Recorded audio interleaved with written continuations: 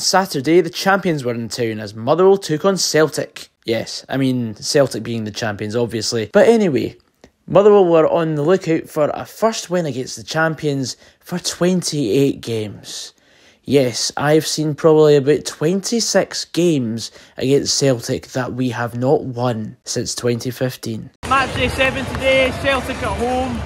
Prediction, you know, I'm fed up of coming here or going to Glasgow, seeing us get turned over time and time again. I said this last week, we're due a result against them, but I don't think it's going to be today. You know, Celtic playing a reserve or sub goalkeeper because Joe Hart got sent off last week. I can easily just say that it's a good chance for us to get a result against them. Well, just like the players do the talking on the pitch, it's up to them, not me. So I'm going to predict a 3-1 defeat today, but in the hope that I get proven wrong. Here we go, Motherwell!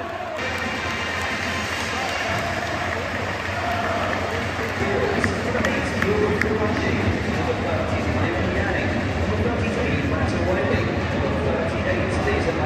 there's a chance to take a kick quickly, it's now. Well, they're not looking.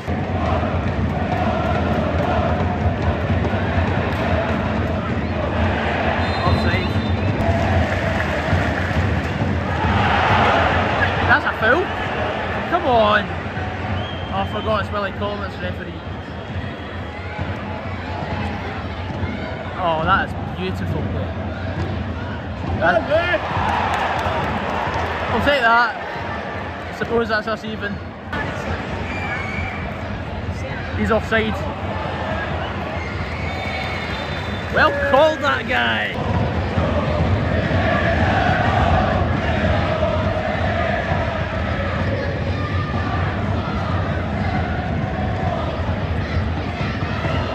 That, that, what, they did he him?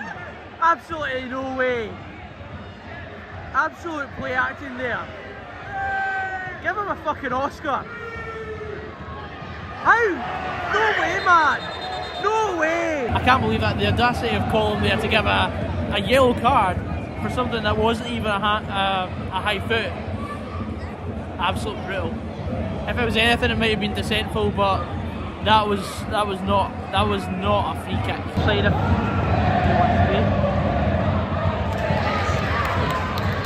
Well done, Slats.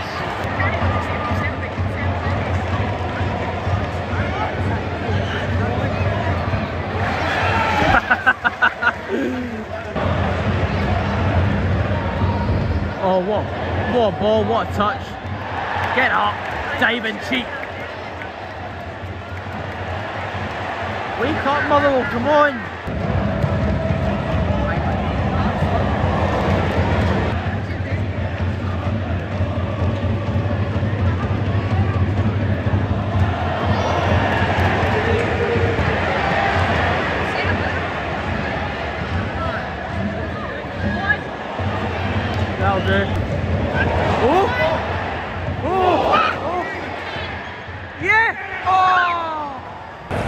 One of these chances that's going to come back and bite us because you only get half a sniff against Rangers or Celtic. That, that was the time to take the lead. C1 ANK, please come to vehicle immediately. Hey.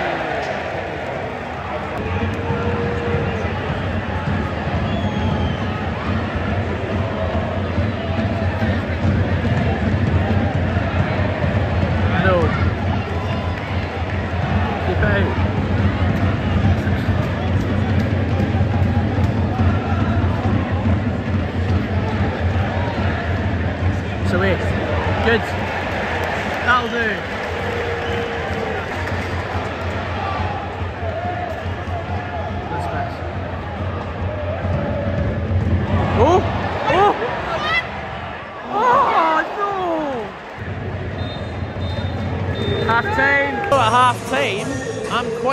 Encouraged by how we've been playing. I mean, first 15, 20, I think it was mostly Celtic, and then we grew into the game as they didn't score, we grew in confidence. And then the last 20, 25 minutes or so, I'm very pleased with how it's gone. And we've had a couple of chances in which we could have done better. And, you know, if, if we were just a bit more careful in front of goal, who knows, we could be in the lead. I mean, Celtic had a couple of half chances themselves, as they always were going to carve, but they've not really carved us open at all. If anything, it's been us that's been doing the carving. Um, but yeah, the, the free kick that we took quickly uh, got a shot away and then a cross back across goal, and uh, unfortunately it didn't go in. And then that chance with Brodie Spencer breaking forward, it was the exact same sort of chance that he had against Rangers last week, where he, he broke forward, but of course Tavernier won a free kick off it because of the Ibrox influence. But if he looks up and cuts back, then there's two or three players that could put it in the back of the net unmarked. But you know, if we keep this up, then I'm, I'm quite hopeful that we can go and get a result here. Celtic making a change, James Forrest coming on. And that's the Motherwell teammate. Come on the good guys. And we're off again for another 45 minutes. Oh my, you, you can't believe it. Go on, play him, play him.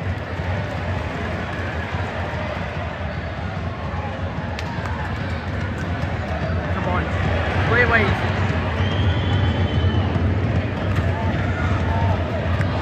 He's got time. Yes! Oh! Corner, come on! Unlucky. This would be a perfect time for a Bevis Mugabi goal. Although a bit too early. It's not late enough. Oh! Oh! Oh! Oh! Yeah! Oh, he's offside! He's offside! He's offside. No, they'll give a foul and Scott Bain. yeah, offside.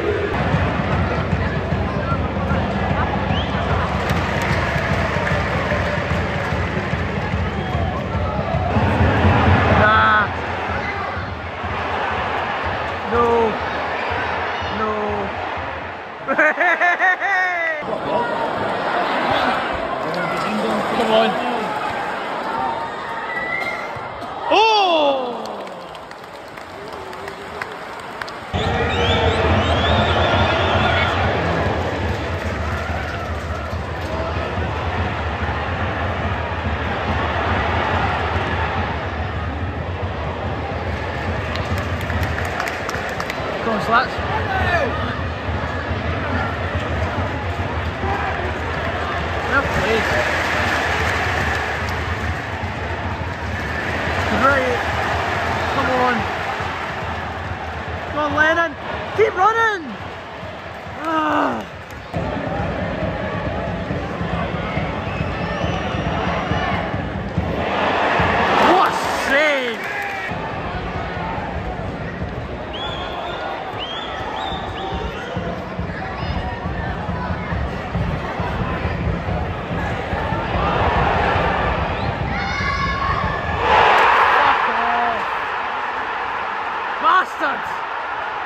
Absolute bastards!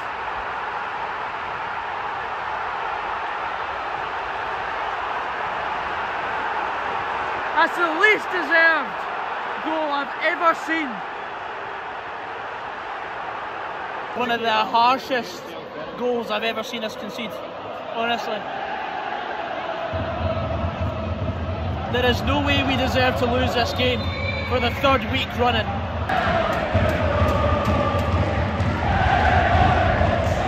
Come on, get ball in. Come on. Mugabi's. Ah.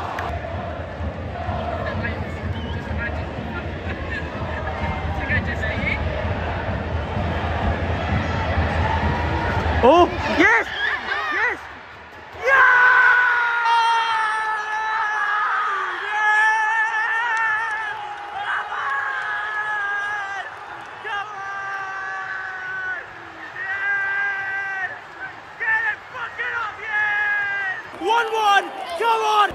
Nothing more than we deserve! All that for a drop of blood.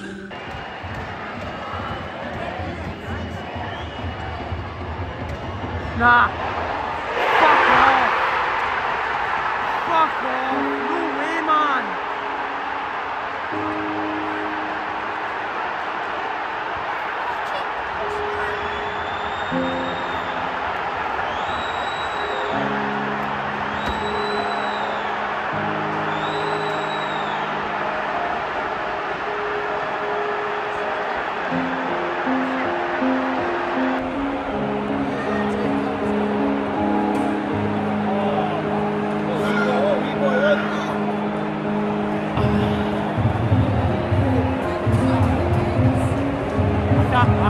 I, can't, I can't, contemplate this game. Come on, come on, yes, come on. Oh! Corner, come on! I'm having heart palpitations at this game, man. Shite again! Completely shite!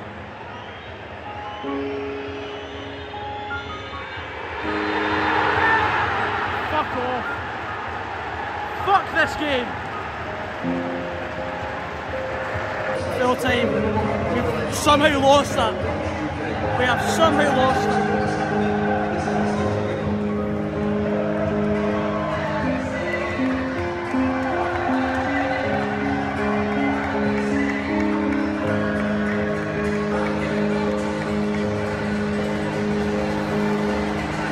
I'm absolutely feeling.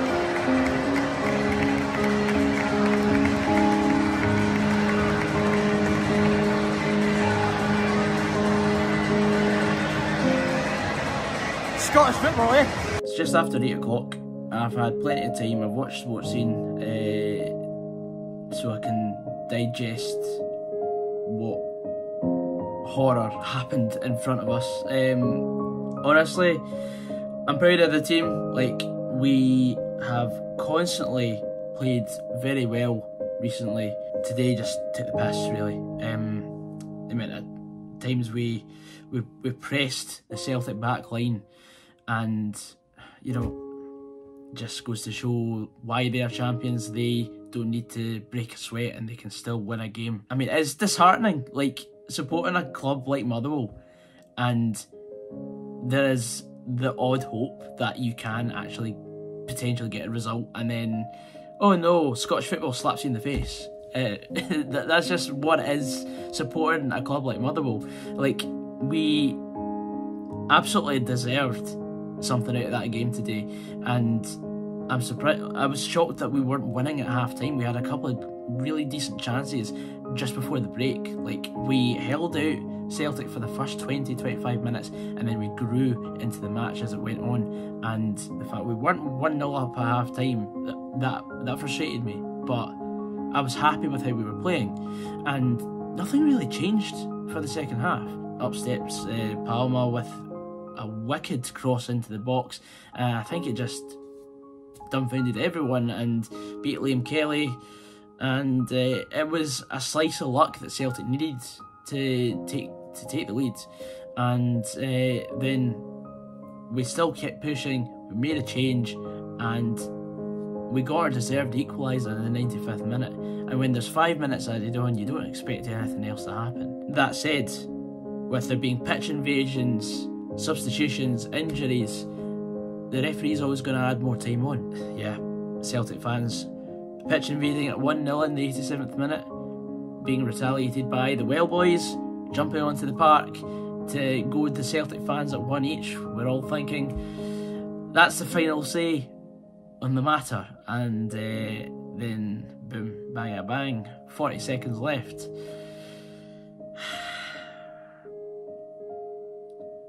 It's going to take me a couple of days to get over this result. Uh, but I'm proud of the boys for the performance. We've got to take the moral high ground here because we've been playing really well recently, and to get zero points out of nine is not a. It's not a disaster. Kettlewell's got a good group of boys, and if if we had one Dutch striker, I'm pretty sure we'd be higher in the league than we actually are right now. And I think we're fifth. So to have gone three games without a, without anything to show for it and still be comfortably in the top half of the table shows us a remarkable amount of progression in the team with the next two fixtures being at Livingston and St Johnstone. So I, I am quite confident that we can go forward from this day and you know go for a hopefully a strong finish this season. But anyway guys, thank you very much for watching and uh, enjoy my tears while they're there because that's what you're here to see. Anyway guys, I'll see you later. Take care.